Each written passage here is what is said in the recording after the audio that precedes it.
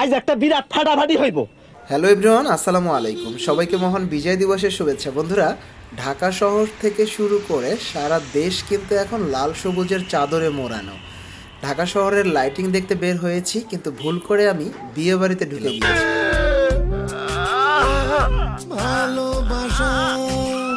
আরে সাকিব ভাই থামেন কান্নাকাটি করেন না। ভুল তো মিয়া মানুষই করে। চলেন আগে ঢাকা শহরের লাইটিং দেখে আসি কারণ বিয়ে বাড়ির রান্না এখনও হয় নাই।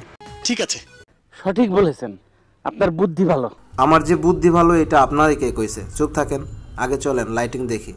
এখন আছি হলে সংসদ ভবন এলাকা। সংসদ ভবনের লাইটিং এর এলাকাটা খুব ভালোই লাগে আমার কাছে, কারণ আমি সব সময় প্রথম যখন লাইটিং দেখতে বের হই, তখন কিন্তু এই এলাকাটাতে সর্বপ্রথম আসি।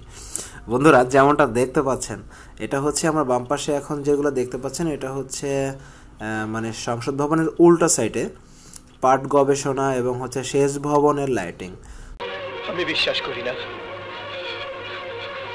আমি বিশ্বাস করি না।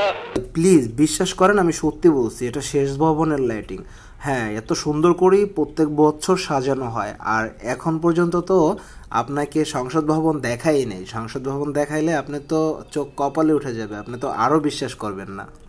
বলেন কি? যা বলছি সব সত্য, বিশ্বাস না হইলে একটু অপেক্ষা করেন, দেখাইতেছি। এই যে দেখতে পাচ্ছেন, এটা কিন্তু হচ্ছে সংসদ ভবনের এমপি হোস্টেল বলা হয়, বা ন্যাম ভবন বলা হয়। ন্যাম ভবন যদি এত সুন্দর করে সাজানো হয়, তাহলে সংসদ ভবনের অবস্থা কি হতে পারে, সেটা তো এবার বুঝতেই পারতেছেন। দাঁড়ান দাঁড়ান ভাই, আপনাদের উপর একটা অভিযোগ আছে। এই যে এত সুন্দর করে ভিডিও তৈরি করি, এত কষ্ট করে ভিডিও তৈরি করি, আপনারা দেখেন, দেখে চলে যান, একটা লাইকও দেন না, একটা কমেন্টও করেন না। আর সাবস্ক্রাইব কেন করেন না ভাই? এত সুন্দর করে ভিডিও তৈরি করি প্লিজ ভাই এখনই সাবস্ক্রাইব করেন কারণ পঞ্চাশ হাজারের একটা ফ্যামিলি দেখতে খুব ইচ্ছা করতেছে।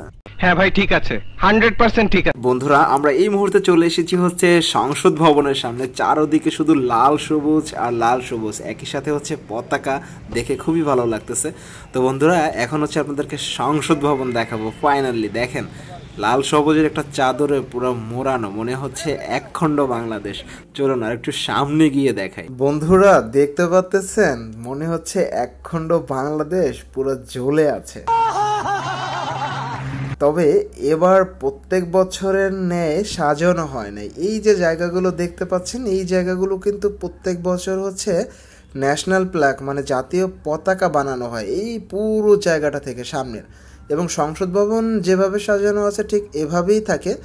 তবে এই সামনের এই জায়গাগুলো এবার না সাজিয়ে একটা হচ্ছে বাংলাদেশের মানচিত্র তৈরি করা হয়েছে।